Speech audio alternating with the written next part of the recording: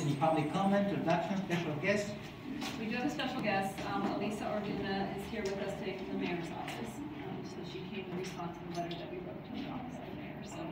What we'll do is we'll get through the action items first before, so we don't lose inform, that okay? Lisa? that's fine. Okay. Okay. So we need to approve the uh, board minute. Everybody has a chance to take a look at them.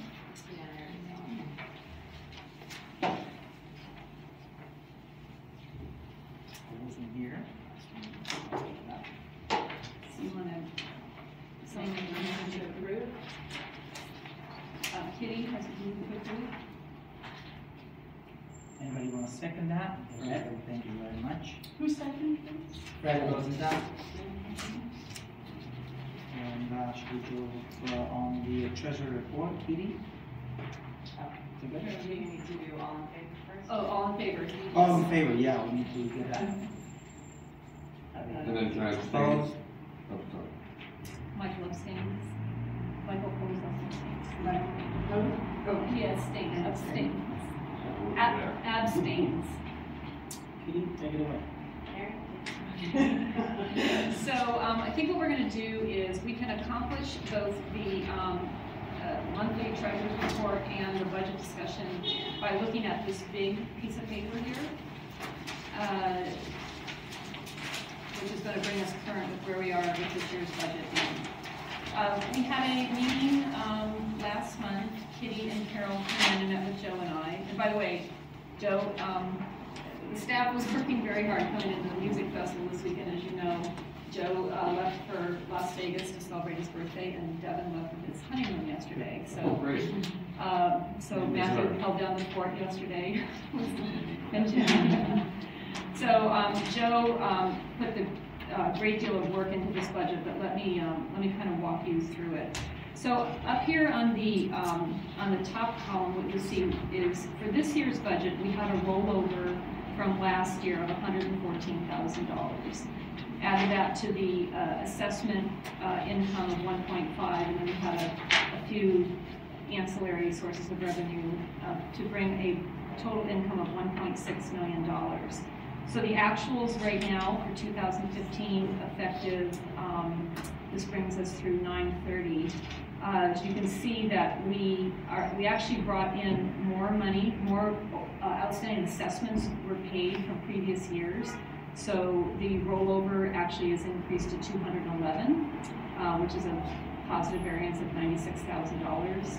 Um, a couple other minor, uh, income, uh, bumps. So we had a positive variance of hundred and three thousand dollars for income. So with respect to the actual budget uh, variances this year, if you look at the um, expected variance and the over-under analysis, safety and security at the end of the year, we're expecting about a $3,000 negative variance on a budget of um, $800,000. And maintenance, streetscape, and beautification will have a $7,000 um, positive variance a, on a budget of four hundred sixty-five thousand dollars. Marketing and consulting will have a, almost an eleven thousand dollar positive variance on a budget of forty thousand dollars. District management, policy and administration will be a twelve thousand dollar positive variance on a budget of 198,000. And then contingency, city fees and reserve for non-paid, thirty-nine hundred dollar positive variance. So what this tells us is that we expect to, um, end the year with hundred and thirty-five thousand dollars in cash.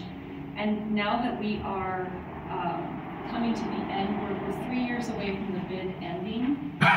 You know, the goal is to use up the cash, there's no incentive to hold on to cash as a typical nonprofit would be because you're, you're expected to, to use the assessment revenue each year that the property owners are paying it. But what we're gonna recommend in this budget is that we roll over sixty-five thousand dollars of this um, surplus into the new budget and hold on, keep sixty-nine thousand dollars in uh, the kitty uh, to kind of help with the, you know, rollover in the, in the subsequent two years. So by virtue of taking advantage of that, if you go up to the top right-hand corner again, the 2016 budget, you'd have a rollover of $65,000. You have the assessment income of one point five two. And if you recall this year, I think it was a wise decision, you did um, levy a 0.5% CPI increase, and that amounted to about $14,000. So that's a 1.52 um, assessment revenue. Um, so that's your starting budget number, 1.585.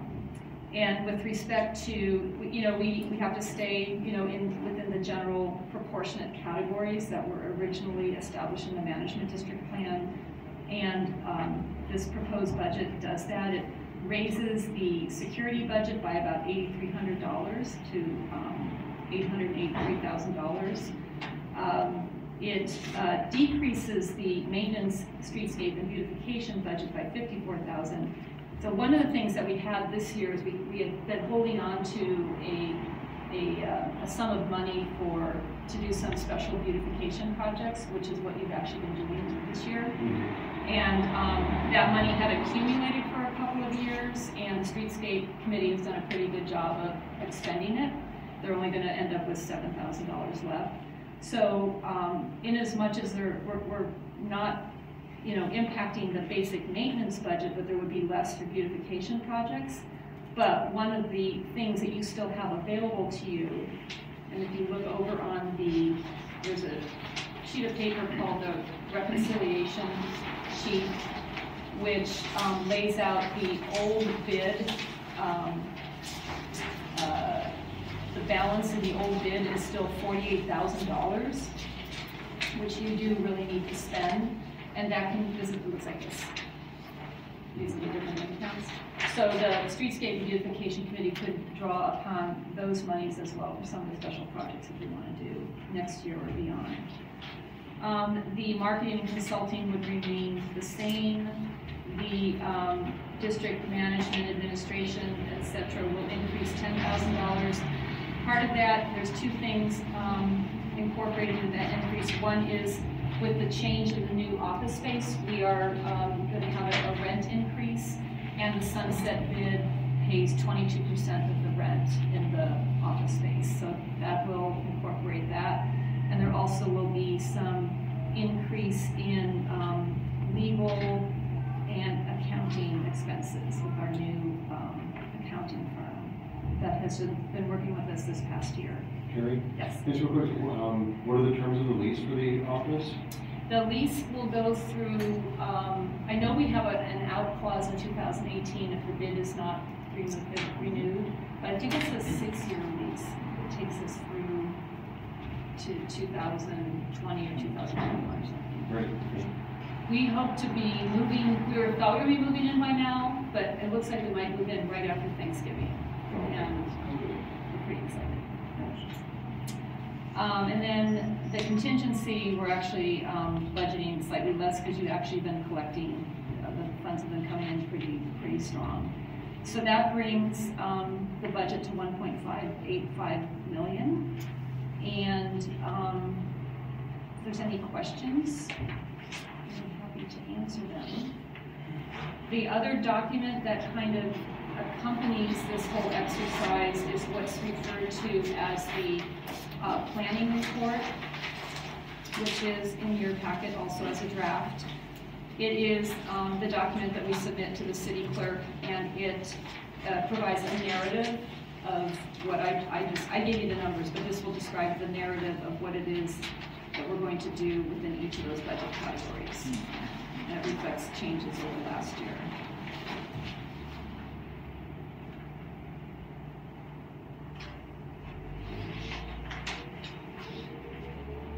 A lot to digest. So the marketing budget was a little, I'm assuming there are enough pending initiatives to use the money that wasn't used in the past year. Well, that money, the way it works is that it doesn't roll over specifically into the marketing budget, it just goes into the general, you know, kitty that rolls over. Mm-hmm. So the, the ten thousand dollars that we're under, it doesn't beef up the budget next year. It just ends up in, in. No, I understand. Yeah. I just have to look at actual, to new budget, and old budget.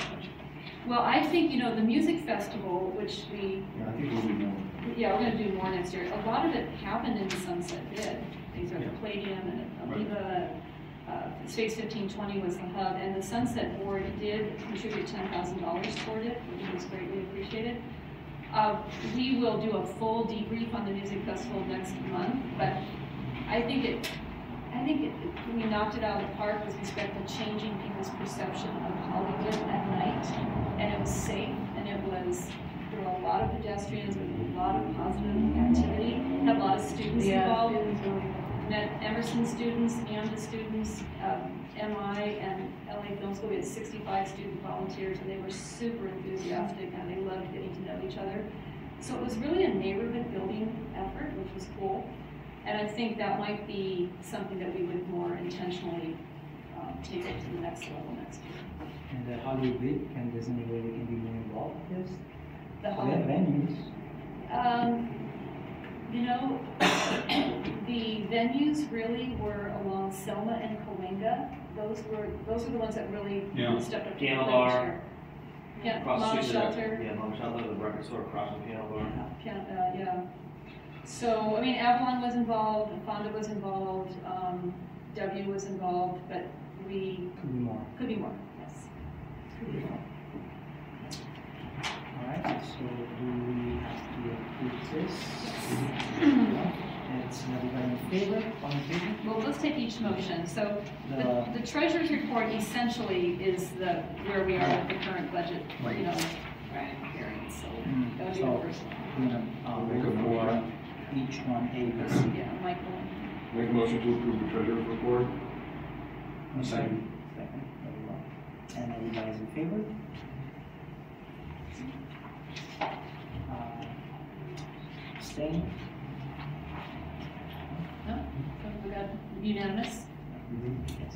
And then we've got the budget is the next one. Your motion to approve the budget. Okay, so, uh, you may wanna move the approval of. Yeah, make a motion to approve the twenty sixteen budget. 2016 budget. Very well, all in favor? I can second Second that. Are you in favor, brother? Abstain? No. And then the planning report. And then we have the report. Which one? Oh, It's this one right here. I'm gonna remove the. I'll make a motion. Uh-huh. Motion, very well. it. Anybody want to second the review of the planning report of the city? Second? Beautiful. And all in favor? Good, well, good, house. Good job. Very question on the, um, the adjustments that happened with the planning report. This is what was included in our contract waivers, Yes.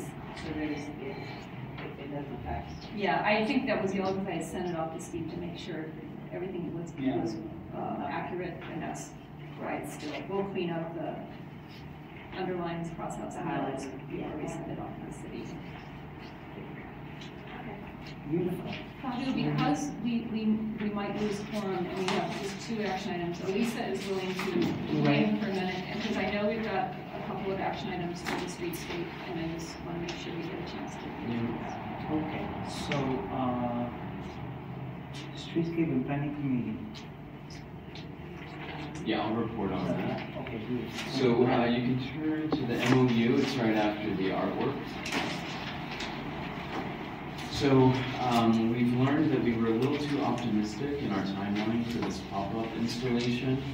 This is what Ellie Moss uh, presented at our last board meeting, and we were hoping to have it installed in time for the festival, but um, I'm learning about liability and indemnification, so um, just a little bit of a learning curve on this for me, but. And, and let me also just interject, this, this was a, I was excited by the prospect of us getting this up for the festival as well, so we were probably thinking it was, we were forgetting about what always, you know, starts to unravel when you start to think about, well, who is gonna be public comments or for what?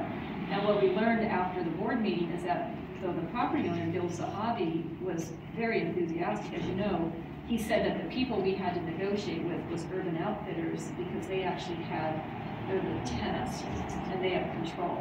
So that was new information, and now you're dealing with the national corporate you know, retail. Yeah, so there's, there's layers. Gill owns the property, Urban Outfitters has a master lease, and then they sublease a portion of it to the parking operator, so there's layers here. So, um, what we have is a, a draft of the MOU between the property owner, Urban Outfitters, CHC, and LA Moss.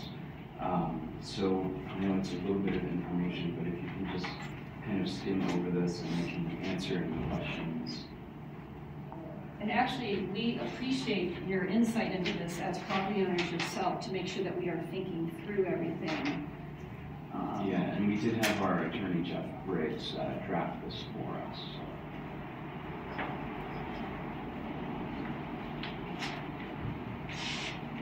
The main thing we wanted to be able to do with um, Zahavi slash Urban Outfitters is make sure that with the investment that you're making in this pop-up, that he wouldn't turn around and change his mind after it's been installed for two weeks and say, oh, we want that to go away. Yeah. So um, I think the, we've got the term, we've asked for six months, but um, recognizing that a three-month trial period is what was initially intended, and that these extensions would be mutually agreed upon. If the materials that have been fabricated lack, they're made out of plywood, etc.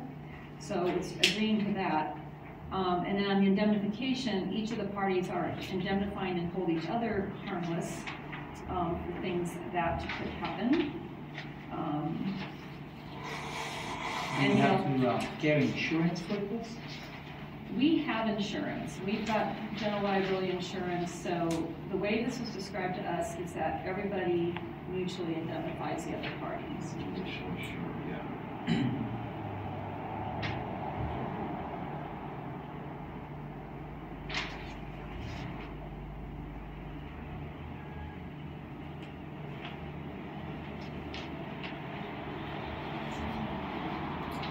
So each party, they carry their own, uh, their own insurance.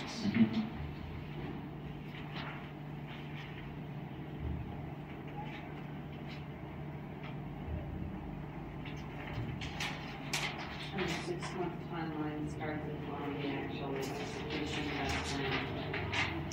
They would have to go ahead and start doing the, the actual installation. The uh, company, this Lamont, how many people do they have employed? They have uh, five employees. Yeah, The only other thing, sometimes when you have more than one or two people, usually it does conflict with compensation. And then Hmm, build the insulation, and something happens. then Right. Usually people take care it. Most of the time. So you um, don't get very. Make sure they have it every year. yeah, so that would be, Again, this is more related to the other, you need to have that separate with them, doesn't have to be. Yeah, and we have the, the second agreement is directly with Elmont, so I guess that's where we would. but that's a good thing to bring up. And I will tell you that one of the things that we did in good faith with them, they, they went off and started purchasing materials after the board meeting without an agreement. So, um, uh, and they said that they had spent ten thousand dollars toward that.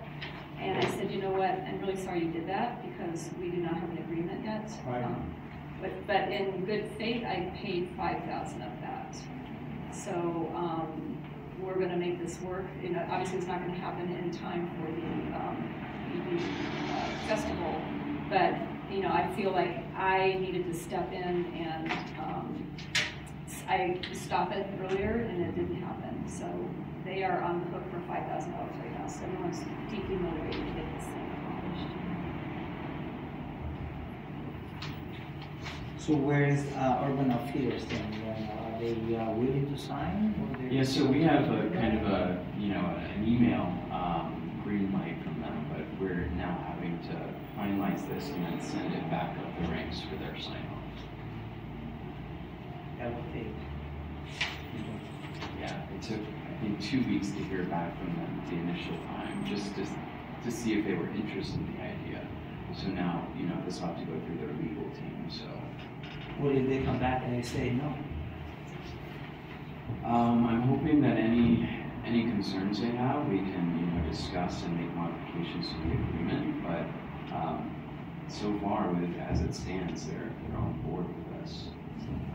And their, their staff team is on board as well, so. Yeah, their local, you know, store managers, um, are on board, yeah, they're our board. And, yeah, Gil's Hobby, the property owner, wants to make sure that they're willing to take ownership of this thing too, so. But if this guy come back and say, sorry, we cannot do it, then We're gonna have to find another, we're gonna find another place to do another it. place to do it, Yeah. We'll, we'll, we'll work out a plan B, yeah, yeah.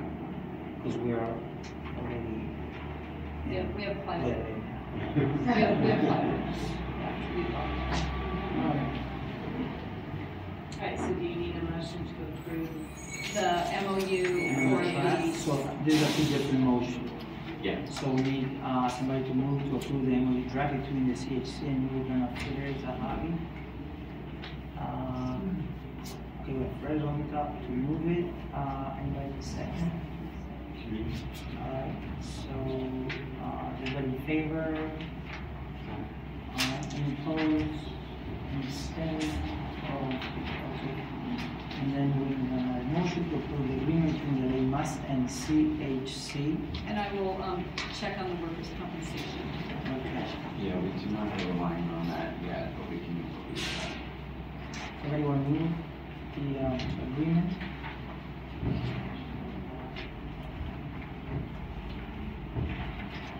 I'll make a motion to approve with the, um, potential changes for comp. Okay. And somebody to second that? And Fred on the top. So is everybody in favor? No opposed? No abstention. Thank you. Good, good. So can we go to the guest presentation now? Yeah, we do usually last Yeah, we'll go back. So, um, I, uh, as you know, a few months ago, we had a, um, conversation about the, uh, increase in homelessness in Hollywood, the encampments, concerns expressed by, um, tenants and residents, we had residents visit us here in this room, concerned about, um, hazardous safe walking the streets of Hollywood at night. And, uh, a concern when you're, you know, you're trying to build a live-work neighborhood, um, of the future. And, um, at your request, and this is, I think, we had the conversation before the city declared a state of emergency. So, uh, some of the, the feelings and the comments and the, uh, multiple calls and complaints that we've been getting into the bid office were in a sense corroborated by ultimately finally our city leadership saying that this is a, um, bordering on a crisis in the city. And, um, so what we're experiencing in Hollywood, we're experiencing throughout, including Pacific Palisades where the fire was started by. So we reached out to the mayor's office, um, because this is a, uh, important neighborhood for just job growth and, and uh, vitality in the city. And Greg Spiegel, who is the homeless, um, deputy, um, he and I had talked about it, I know him pretty well, and he had a family emergency, and had to go back to London, I believe, yeah.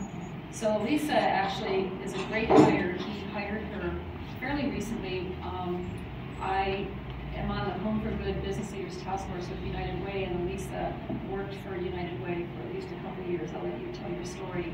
She's extremely knowledgeable, and um, she's in a position to have a conversation with us from, you know, City Hall, and also to hear some of your issues and questions and concerns you want to take back to the mayor's office.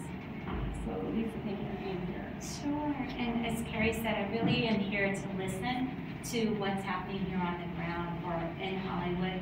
I can give an overview about what the declaration of emergency, how we're interpreting that, what have been follow-up actions to that, just kind of big picture. And then, but it's important to know what's going on here to understand how will that apply? How are we in the right direction? Are there other things that we need to consider, particularly as we move forward to 100 million? So just to back up a little bit, um, as Kerry mentioned, my background's in homelessness policy, so I'm not on the political side. I've been working in homeless policy and direct services probably since about 1996. A lot of time in Philadelphia, and then when I moved back here, both on the family side, single side, had experience at the local government, philanthropy, and now at the policy level. So this is kind of a passion, it's something that one day I want to say, I can move on to a different career because we finally have ended homelessness. It's not something I set out to kind of end up in, but I guess my interest was community development and then just kept running into the intersection with homelessness and how do we build inclusive communities where all can have a sense of belonging and all have a place and talents, etc. So with all that said, on September 22nd, Mayor Garcetti along with City Council made a press announcement of declaring an emergency. And there was a commitment of $100 million in resources to finally address homelessness. And looking at it since that time, what does that really mean? What was the impetus of it? From the council side, it was a way to really streamline our planning process, so permitting and zoning issues, to both build um, affordable housing development as well as emergency or what we call crisis housing, to just literally be able to move people off of the street. And so there's a lot of, um, that was kind of like, people see the need, we have this 12% increase according to our recent PIT count, and people were just, we're looking at what you guys, I'm sure, are seeing on the street, um, and what do we do, and feeling kind of, their hands were tied, like, what's going on, how do we just, how do we even begin, where do we begin, and how do we begin? And that's what the declaration did. It also brought attention from the federal level. A couple weeks ago, Secretary Castro was the HUD secretary. He was here, actually in San Diego. He made a stop in LA because he said, "What's going on? What can HUD do? What you know? What can we do better?" And not having enough resources because their fear was if LA is declaring a state of emergency, other cities will start doing that too. And what does that mean at the federal level? So it gave us an opportunity to really solidify a partnership with the federal and with LA County when we had the Castro announcement, it was the first time, pretty much in recent history, that you had three city council members, the LA mayor, and the five board of supervisors in the same room together, and particularly discussing the issue of homelessness. And it wasn't so much just for show, it was really, you know, I think that same week, a couple days later, uh, Supervisor Cool, Cruel and uh, Ridley Thomas came out with their announcement of an additional 100 million. So people are, are looking at what are the resources that we have and how we begin to not just say, here's our pile and we're going to just deal with our population, but how do we pull the resources together? And at the policy level, what are those barriers that make the funding more accessible to providers and organizations on the ground? So we're um, doing a joint planning process. There have been 16 policy summits, everything from land use to outreach and encampment, some of the best practices. We're hoping the community has been involved, and I can send you the link to send out to members because we need feedback, particularly from those of you who are private um, developers and just from the private sector, particularly around land use issues. And um, how can we incorporate that in the plan? And it's going to be that plan that will be revealed in January for public comment, and then incorporating public comment for final release in February that will guide the 100 million. Both where is it going to come from? Mayor Garcetti is strong on creating new uh, resources looking at, he proposed the linkage fee as part of his development of 100,000 units by 2021, 15,000 of which will be affordable units. He's talked about um, just in-house around recording D fee. So what, how can we generate and how can we capitalize off of the private development to help subsidize some of the affordable housing? Because really, when there are many multiple issues of how someone becomes homelessness, or how someone becomes homeless but how do we come out of it really is an affordable housing crisis that we're facing in the city. So how do we balance that need um, with growth so particularly so workers can stay in the city and not have to drive, have a two-hour commute to work and whatnot. So with that, the most immediate, um, prior to that 100 million, 15 million we're hoping to release immediately. We've already started funding winter shelter. 10 million will go to um, a style of housing, it's just rapid housing which means that it can be a short-term rental subsidy for someone, it can cover moving costs, but there are people that we know lost a job or had a major healthcare crisis, and they just need temporary help to be able to either connect to mainstream benefits or to go back to work, and they'll be fine and moving on into um, unsubsidized housing. Wait, so how much money did you have for your house? Uh, 10 million. And, and then five went to winter shelters? Uh, 3 15. million, 15 total. Uh, 10 Oh, million for 15. rapid rehousing, 3 million for winter shelter. 1 million, um, we're looking at, for, on all of this will go, we're hoping that will go to LAHSA council still has to decide on that. Our recommendation that a million goes to technology, so we have many outreach workers, including the bid workers. And as they find people, right now, people are still doing paper and pencil intakes, and we want to be able to link the LAHSA database with iPads or iPhones in a secure system and streamline. So looking at feasibility of how to upgrade the current database as well as what technology will work best. And then another million to create regional based, and we're calling them housing source centers. So they would include storage facilities, so people can log in their stuff on a voluntary basis, showers, toilets, and also locate case management, the housing placement officers right inside. And so it's not just a drop-in center, but it really is your first um, link into permanent housing. So there, the last million will go to look at how do we create this, and that's really gonna be almost SPA. It'll probably look different in each SPA based on what the local needs are. This fifteen million, has it already been distributed then, or are No, it's still, RFPs that are it's coming, it's very, it's still coming out of council committee. We're hoping either this Friday or next Tuesday, um, that it'll come to full council. And then after that, ideally, if council agrees that it goes to LAHSA, then LAHSA will contract it out. I would say by January. Is there a criteria for money is spent? And within those categories, sure, so for the rapid rehousing, we want it to be kind of as flexible as possible, because traditionally what's happened is program guidelines almost make the actual accessing funding prohibitive because of all the restrictions, like you must be single, you must have a substance abuse issue, you must be female, you know, so we wanted to be as flexible as possible for LAHSA, again, as they kind of feed it out into the coordinated entry system. Are you guys familiar with the coordinated? Or like in SPAs, these are kind of portals of providers that are working together. Um, we want it to be responsive to those needs. So it will be toward housing people as far as a priority. And within the CES, that funding is targeting people, there's an assessment period, so it's tied into how people score on that assessment. Um, as far as the technology and the other centers, right now, it's really working with LAHSA and then who has the outreach with the SPAs to define what that criteria would look like. But the priority is, this is short-term funding, this is a chance to help us do more of an evaluation of what's going on, so we don't put good money after bad. That's a good point.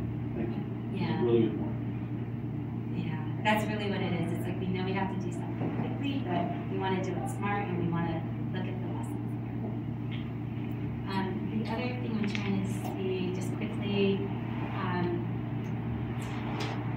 It was a hundred million, wasn't? So the hundred million was an announcement, and that was just a commitment. So that was just kind of throwing a benchmark out there and saying, how are we gonna rise to the occasion?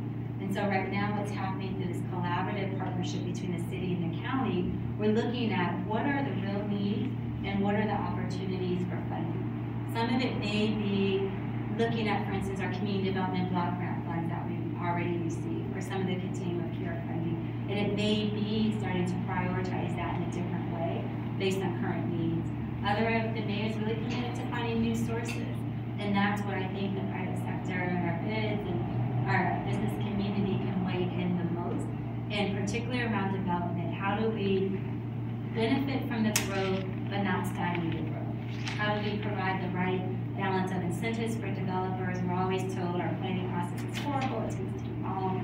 Um, it's not quite clear of all the various permitting. Is there a way to streamline that with the benefit of a linkage fee or something to dedicate to the Affordable Housing Trust Fund that would also build affordable housing for the city too?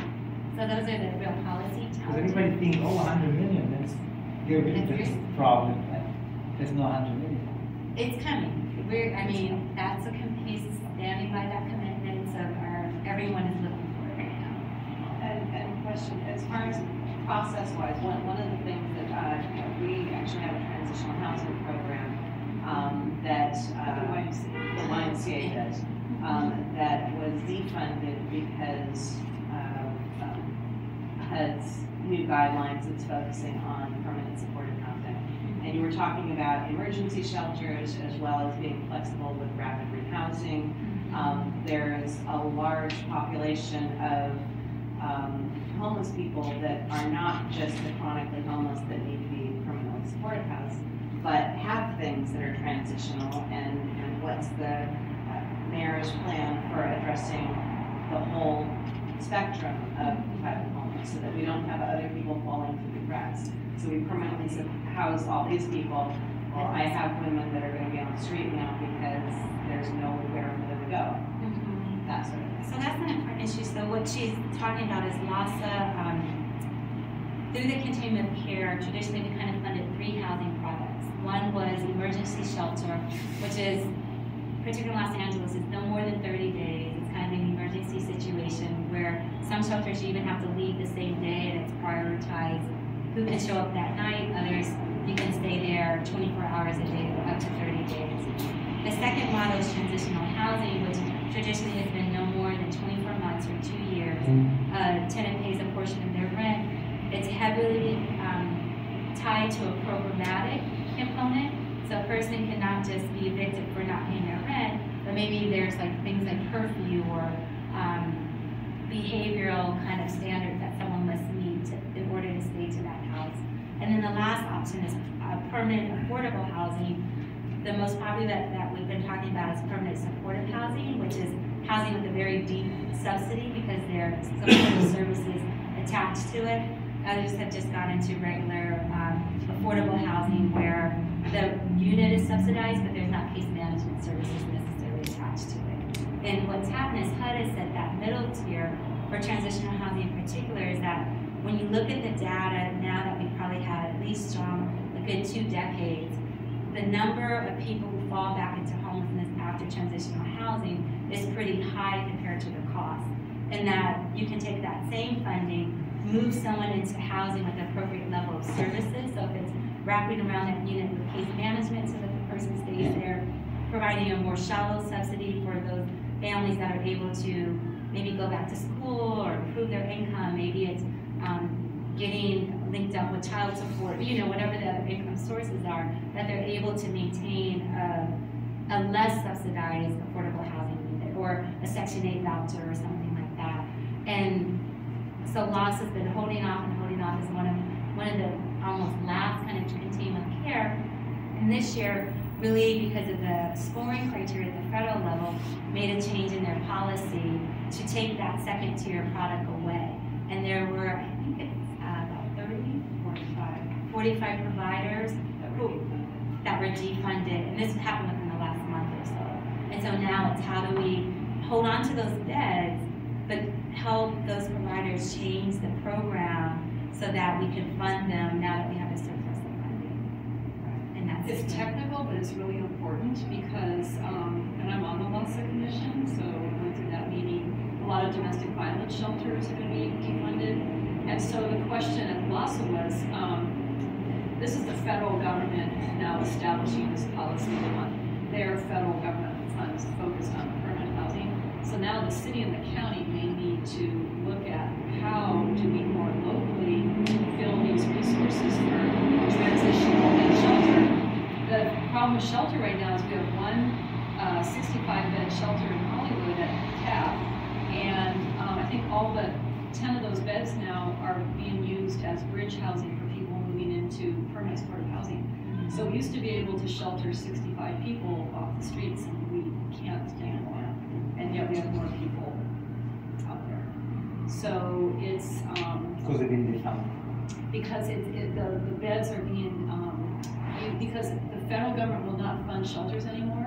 So PATH had to, to follow the resources, otherwise they would have to raise all the money to fund their shelter. But the federal government will fund what was called like bridge housing to, while you're waiting to get into your permanent unit. And so that's what most of those beds have been converted to. But that's, it's also an opportunity though. I mean, one of the things about the hundred million being tied into a planning process is that we really are input. We're in a new territory now, um, just with the economy kind of rebounding, but also just the growing overall inequality that we're finding in many communities across the country. Is what are we doing? How do we go protect people that are vulnerable and to becoming homeless, as well as how do we lift those that have now become homeless? How do we lift them up? And so it's, um, I would say now more than ever is the time to be creative. If a crisis house, we call it crisis housing instead of shelter. And the difference again is that shelter was more, it was interesting, I, I was talking to the pastor of St. Sophia Greek Orthodox, and he said it best. He said, anytime you call someone a guest, you have to really think, are you looking at solving the issue, or is this a temporary fix? And so it's redesigning the design of shelters so that there's a pathway out. It's not just a door in and a door back out so the door is like spinning, but there's an actual door out to some kind of, and I'm just gonna use permanent housing, oftentimes we think of like a building across the street, I'm looking over there, like, we think of a physical development, but permanent housing could be renegotiating, paying someone's back rent who's living with their parents so that their parents will allow them to come back to live with them. It could be, um, again, a short-term subsidy because someone is waiting for that job offer, maybe they're out on medical disability, but they'll be back to work in three. It could be finding the right roommate in a shared housing situation, or it could be applying for Section 8, or if it's more severe, someone with severe mental health. You know, there's different products for it, but the idea is that we've got to get creative. How do we create affordable options for people who live in Los Angeles, including our homeless population? And now it's time again for communities to be very creative and say, you know what? We don't want the kind of shelter that you're going to have where people are lined up around the block at 7 o'clock at night. We don't want that. We want a kind of program where we know that bed is going to turn over at least three times in one year because people are actually moving into housing. And we want it, you know, what size, what are the programs, what are the local community supports that could help people link up to employment, to medical services, to becoming better advocates in the public schools if they have children. You know, so it's all of that that I'm really sincere when the mayor is very open to new ideas of how to do this.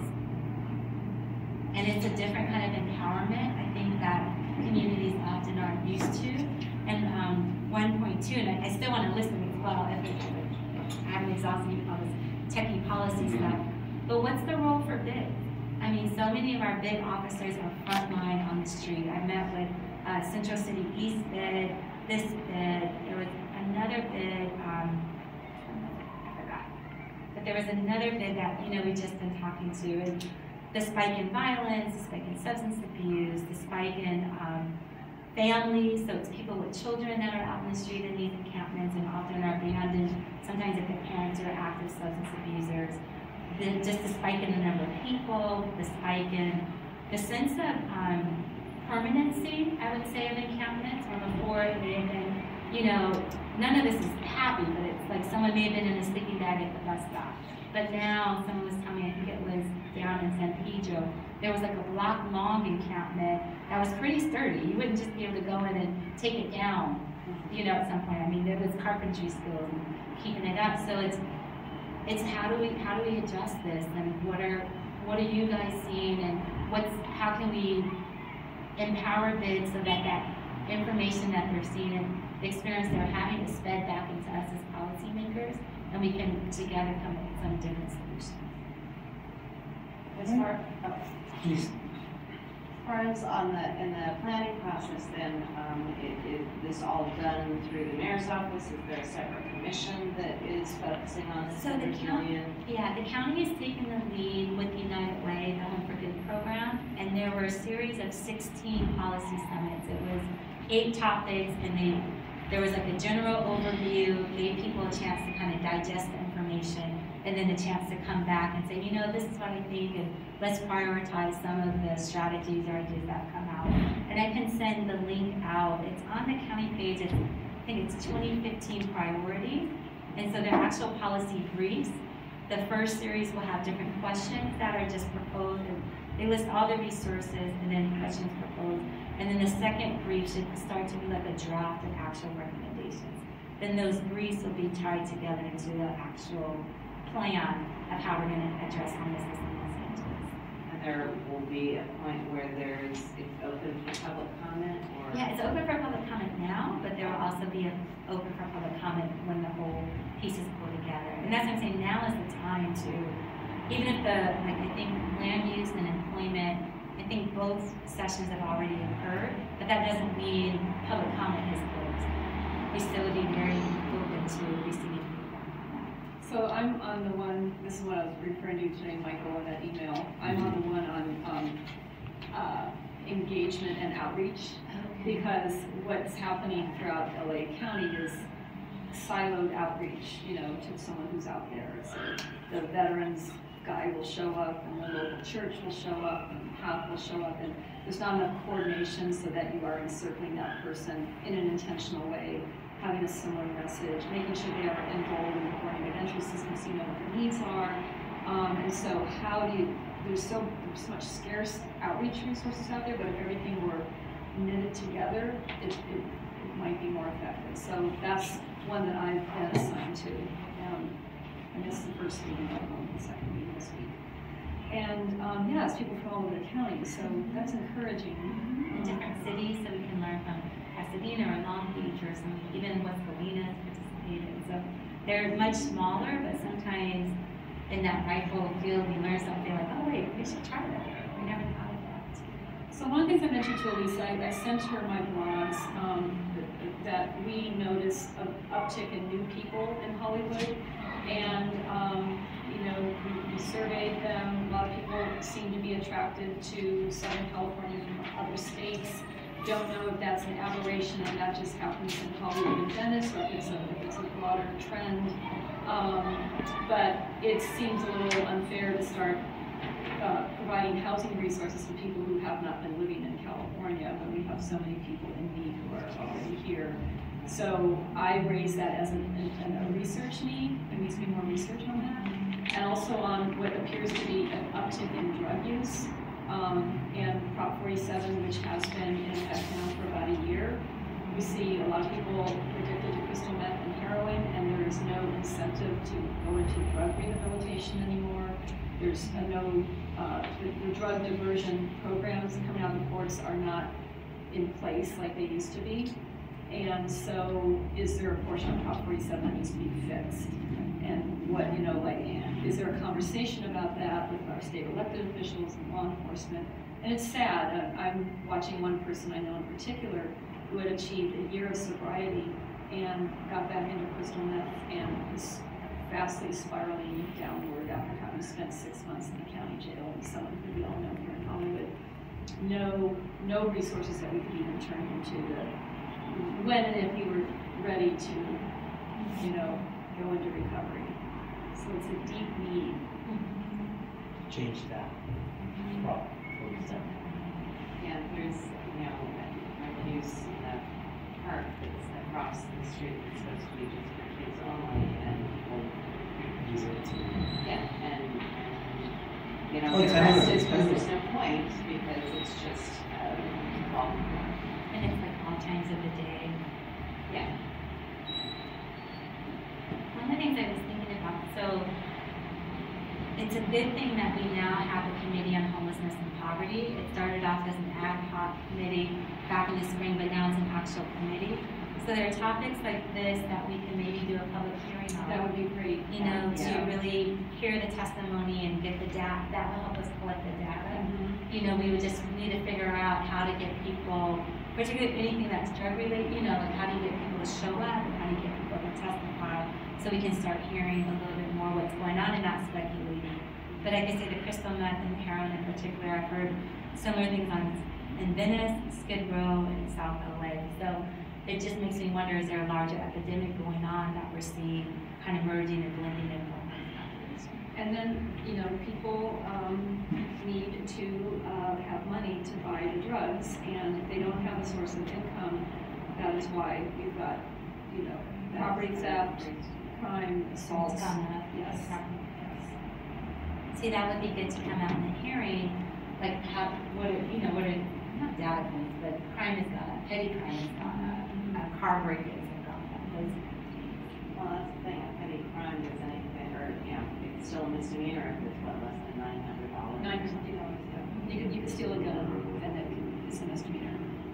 But it, but it doesn't negate the importance of documenting. So for instance, we've been talking, a lot of our planning around homelessness policy came from some of the best practices from the U.S. Interagency Council on Homelessness, from a lot of the work of Home for Good, um, from our VA and from the HUD department. But that's looking at homelessness for people really vulnerable to housing, who've had ongoing mental health or physical health needs that, you know, when the hospitals were broken down in the eighties, these are people who pretty much had to try to figure out how to survive on the street. And so it was developing a solution and a product around that.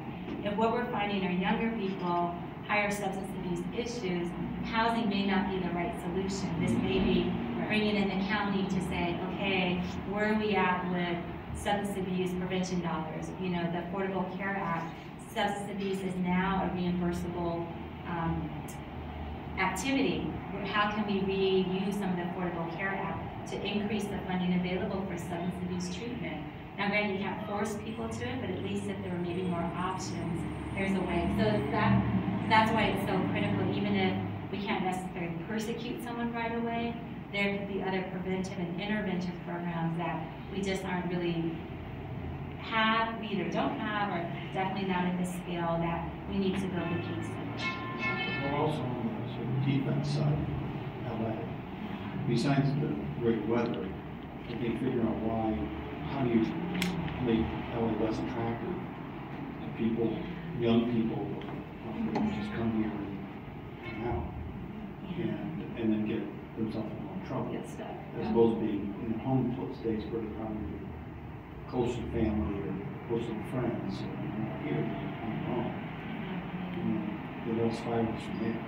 How, how, what, what, what other factors come into play that people come in and go, and what are other cities or states doing to combat their issues?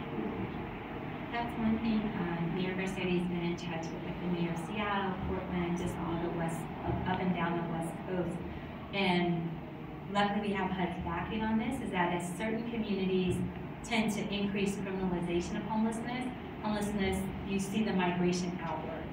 So if we all take a stance of balancing out the criminalization of homelessness and not criminalizing, then we hopefully we won't see that kind of push-pull factor. The other part is, you know, I grew up in LA forever, even though I was gone and came back, and it's like homelessness has always been part of the landscape. And we have to change, I think, our own mindsets around that and start sending messages more about the community. And I think that happens with the banners and marketing community, you know, there's physical designs and the public art and having open community meetings where you start to spread out, hey, to be in this community, there's a level of responsibility, there's a level of commitment, there is a level of um, a reciprocity of what does it take to be a member of this community? And I think those are the messages, these are kind of the less law enforcement, the more community spirit or kind of intervention, because then people will get the message that, man, if I have to go to California, they're putting pressure on me that I have to volunteer or I have to go to a community meeting or I'm expected to take my tent down and go find a job. You know, that message starts to get out where if we stay in these silos and ignore the issue, it's kind of like, oh, no one's paying attention, so I can do what I want to do.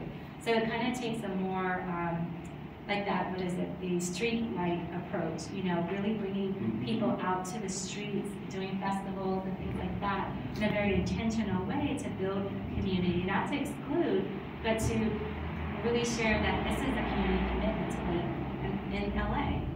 That's what makes LA great. So this uh, right to rest uh, project is not gonna help us.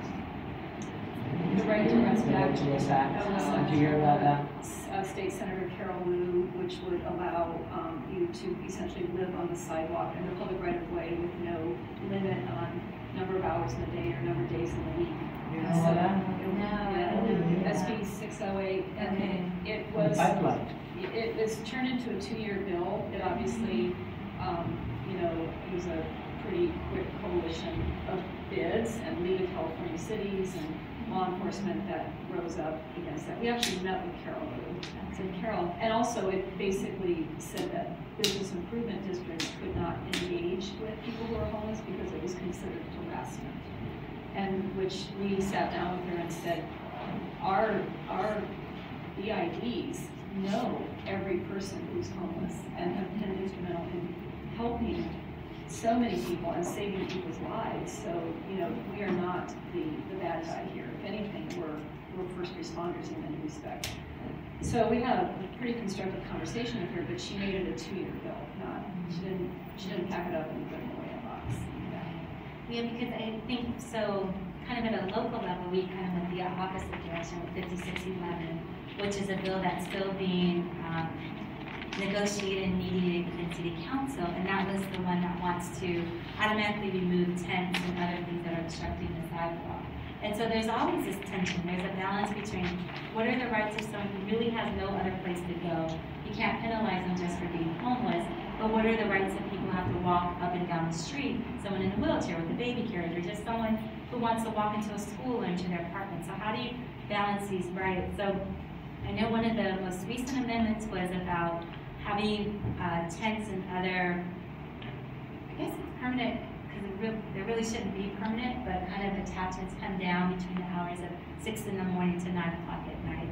And so, no, this is, they're still This is the negotiating it. municipal code, um, section that, um, they're working on, going municipal, but it'll apply to LA, Um, because of the ACLU settlement. Yeah, But that might be something that you guys want to weigh in on, this one. Well, I mean, we've got full-on encampments all along, you know, Vine Street and Homewood, uh, you know, it's, uh, and uh, what's the street behind you? Um, Wheeling Way. Wheeling Way. Come on, Craig. Which has, you know, I enjoy hearing people say, yes, people should have the right to live on the streets. Then our maintenance crew are dealing with human defecation, urine, and trash every day. Our guys are just exhausted. And so it, there's a reason why we don't condone living on the streets, because there is no infrastructure for that process. So, you know, you get into a push-pull on this, the- this, as you say, the balance uh, of the rights, but the actual implications are, our, our crews are out there cleaning this stuff up now every day. And needles and, and other things that are, you know, even, even around the facility and the city lot and that sort of stuff that we have to go through and check. You know, we have people that are walking through and afraid of the whole process. Yeah, one of our guys got the pricks with emptying a trash can because there were syringes in there.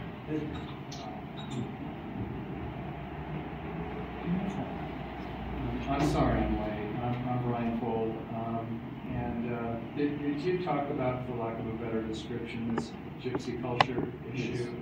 A little bit, Okay, yeah. I'll, I'll, I'll, I I won't, I won't come back on that, but that, that is something that I think is really important to, to look at from the standpoint of, you know, it, the definition of the homelessness issue. There's, there's this element that is, uh, choosing to live a certain kind of lifestyle on the street that is coming to LA.